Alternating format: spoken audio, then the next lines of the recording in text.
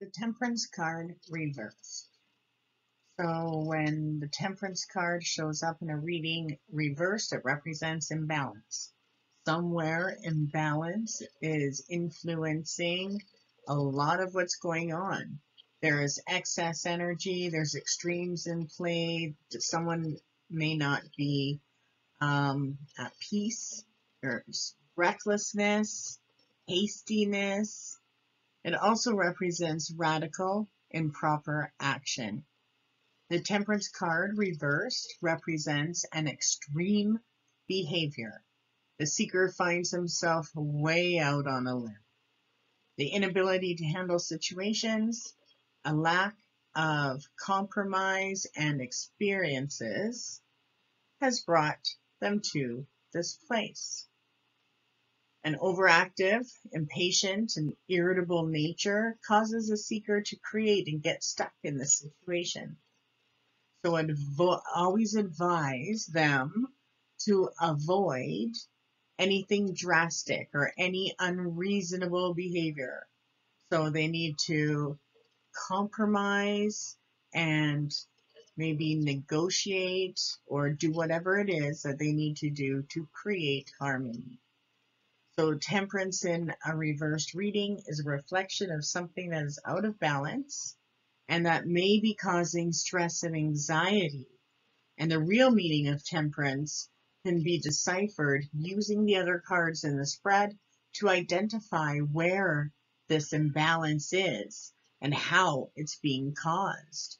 So a temperance in reverse may also be a warning that if you take a certain path, it will lead to more turbulence or problems. So where is the temperance card showing up in the reading? Is it some, is it in the past? Has this already happened? Or are they coming to it because of the path they're on?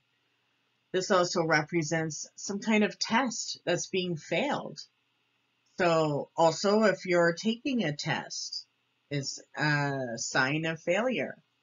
It also represents that if one's spiritual or philosophical beliefs are being tested, the inability to act in accordance with one's belief is what creates the failure. Um, when this card comes up, then it also represents lack of long-term plans or visions. And this having a lack of vision can also turn the temperance card into a reversed position and it creates lack of purpose. So there's a feeling of being lopsided and you must reflect and think carefully about what it is that needs to change. So temperance is there to remind us that all good things are only good in moderation and that we must re-examine which aspect of our life um, is taking place when we're breaking balance.